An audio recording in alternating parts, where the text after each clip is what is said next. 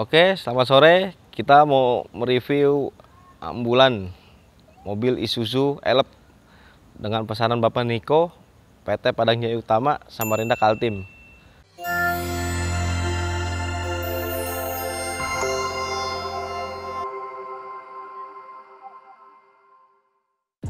Oke, untuk selanjutnya ini ampli lampu strobo untuk mengat cara menghidupkannya ini putar sekali langsung on. Dan ini untuk menyalakan lampu atas. Untuk gedein suara di sini juga deh. Ini untuk modenya. Ada beberapa mode suara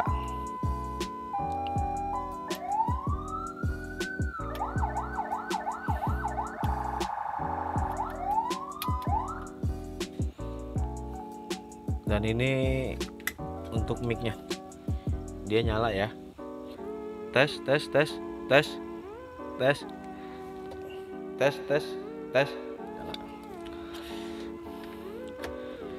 Untuk ini untuk lampu strobo di bagian grill. Dan ini untuk mengatur kecepatan lampunya. Berkedip.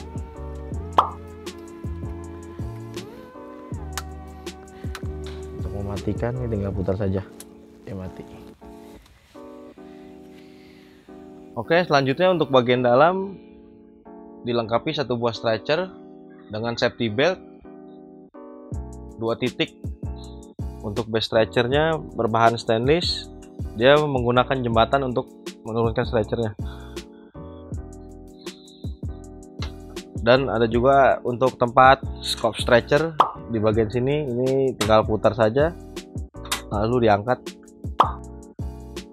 untuk stretcher dilengkapi dengan kuncian ya. Jadi dia kokoh bahannya. Tidak ambruk saat dilepaskan. Untuk sandaran ampresnya juga dia bisa dibuka bagian ininya. Dan lemarinya menggunakan cat duko bukan akrilik dengan dua pintu untuk alat-alat.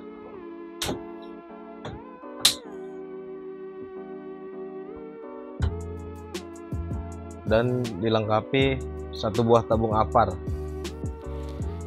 Dan selanjutnya di bagian depan juga ada kursi perawat tapi ini hanya untuk satu orang ya. Tidak direkomend untuk dua orang. Dia juga bisa dibuka untuk taruh peralatan juga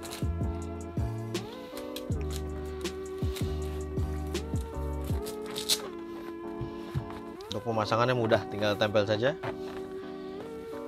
Oke untuk selanjutnya dia dilengkapi satu buah tabung oksigen dan regulator merek ternama ya. Dan ada juga bracket tabungnya dengan menggunakan magic tip. Lebih mudah saat proses pemasangannya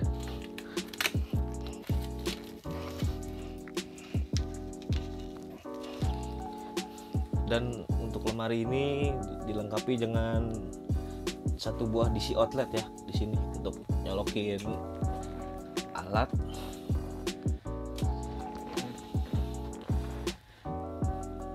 Dan bagian atas dilengkapi lampu sorot untuk tindakan pasien saat malam hari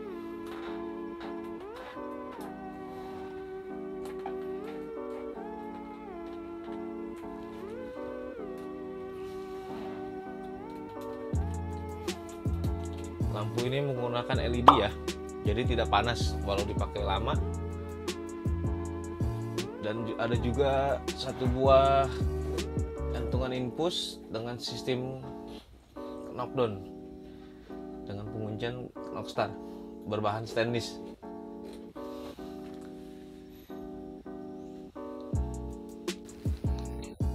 Oke selanjutnya untuk bagian kursi perawat dia bisa dibuka untuk box peralatan. Dan kursi juga berbahan empuk ya lid